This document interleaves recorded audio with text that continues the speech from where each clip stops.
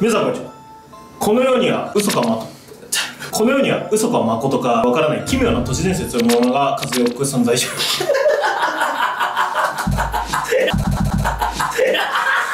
えー、そんな都市伝説をお話しする私都市伝説の説怖い話の音混じったじゃねえかよ。おー、えー、私都市伝説夫でございます。よろしくお願いします。節夫はい説夫です。先生今日もよろしくお願いいたします。お願いします今回お話しする都市伝説は、はい。ゾンビについてです。ゾンビについてなんですね。私たちの知ってるゾンビとは違うゾンビ。違うゾンビがゾンビについてです。ゾンビ。って空想上ゲーム上とかそういうものだと思われてるんですけども、はい。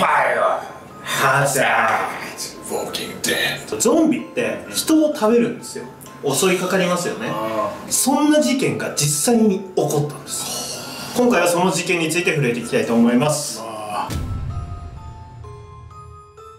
えー、2012年の5月。めっちゃ最近やん。アメリカ・フロリダ州で起こった事件なんですけどもこちらマイアミゾンビ事件と。呼ばれております。その事件。男2人が争っていると通報を受けたマイアミの警察がうん。現場に急行したんですよ、うん。そしたら2人の全裸の男が寝そべってたの。やばわ。い見ちゃいけないなんだなんだ。シーンが。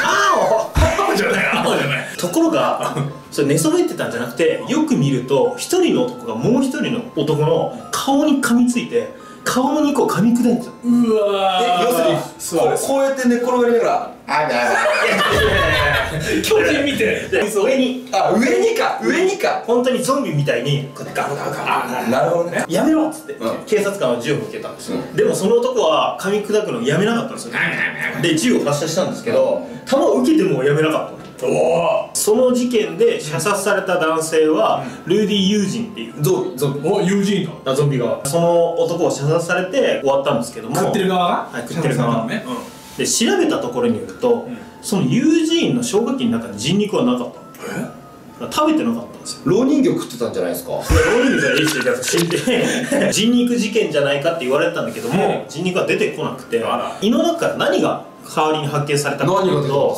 錠剤相当な数の消化しきれてない錠剤が発見されたんだって。錠剤？それらがまだ何なのかは特定されてない。の6年経ってんのに？うん。ただ警察関係者がバスソルトっていう覚醒剤があるんですよ。ババスソルト？親しみやすい名前のそのドラッグをうん。使ってたんじゃないかって。その友人が。友人ゾンビの。でも警察関係者がその後 CBS の報道で、うん。その容疑者は大麻を吸ってたっていう報道もされてるんだって、うん。でも明らかにうん。その大麻でそんな症状にはならない。暴れたりして。噛んでペ噛んでペしてたんじゃなんですかね。きっと。ね。胃の中にないってことはね。うん。この友人さん友人。犯行直前うん。何をしてたかうん。調べられたんですよ、うん。そしたら友人は午前2時深夜に突然恋人の家を出て行った、うん。で車で友人宅に向かって友人だけに友人だ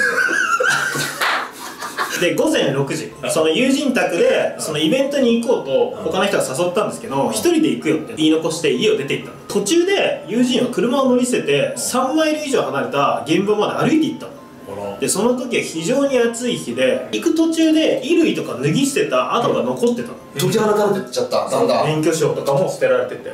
そしてうん。午後2時被害者と遭遇して事件が起こった。と朝出てったんですけどお昼に起こったんですよ。うん。食われちゃった方は別に知り合いでも何でもない68歳の老人のホームレス。あら。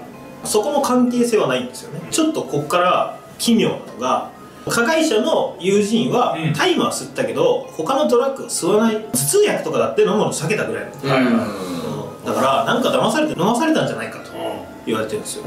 うそこもおかしいじゃないですか、う友人はうん。聖書を持ち歩いてたってそれぐらいクリスチャンだったんですけどその現場の彼が歩いたって道のりには破り捨てられた聖書も落ちてた。あら。あまあ、これだけで言うと、はい。友人が、はい。まあ、そのバスソルトって呼ばれる薬を飲んで暴走して襲ったんじゃないかっていう、ーこの事件。はい。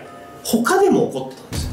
うん。友人だけじゃなくてその5月から6月にかけて、えー6月ルイジアナ州で隣人を襲って頬の肉を噛みちぎるとかで12日ニューヨークで、えー女性が近所の人に襲いかかったりとか愛犬を噛み殺したりとかうわすげえ。そういう事件が起きてた。で容疑者が全員バスソルトの薬を使ったんですよ。あゾンビドラッグ事件とも呼ばれてる。うん。しかしさっき言った通り警察はバスソルトじゃなくて大麻を吸ってこうなったんですって言い出したんですよ。急に。はいはいはおかしいでしょ。いおかしい。さらに警察側におかしいと思った点があって、うん。加害者、んゾンビ側は何も持ってなかったんです、うん。セーラーの状態だった、うん。なのにいきなりすぐ射殺したんですよ。警察は。取り押さえるとかじゃなくて。あはいはいはいはいはいなんか隠蔽しようとしたんじゃないかっていう説が出てきてて。で実はアトランタっていうところに CDC っていうね病原菌とかウイルスを管理してるところがある、うん。うわー出た。うん。ここの機関が、うん。その事件が起こるちょっと前5月の頭にホームページを使ってあることを言ってたんですよ、うん。それは、ゾンビに対する備えをしてくださいって書いてたんだって。嘘だ？本当に？そう。でその直後に、うん。アメリカ各地でゾンビのこの事件が発生したんですよ。えー、すげえで CDC はいろんな感染症を研究してるんですけど軍事用の細菌兵器とかも研究してるっていう噂が立てられてる。はいはいはいはいはい。もしかしたら何らかの表紙に人間をゾンビ化してしまうウイルスが漏れ出してそれを服用した人がゾンビ化してこういう事件が起きたんじゃないかって言われてるんですよね。友人は撃たれてもなお噛むことをやめなかったって言ってたじゃないですか。はいだからそういうそのゾンビ的な兵士が生まれたらめちゃくちゃ強い最強の兵士じゃないですか。戦争にね使いますね。ゾンビ兵士を作ろうとしてたんじゃないか、この都市伝説。信じても信じなくてもどっちででももい。いでもゾンビ。どっちでもゾンビ恐ろしいですね。ゾンビ嘘のような話が誠になってしまった話でございます。というわけで、えー今回の都市伝説いかがだったでしょうか？この都市伝説が面白いという方はぜひ高評価チャンネル登録コメントよろしくお願いします。また次の都市伝説動画でお会いしましょう。さよなら。さよなら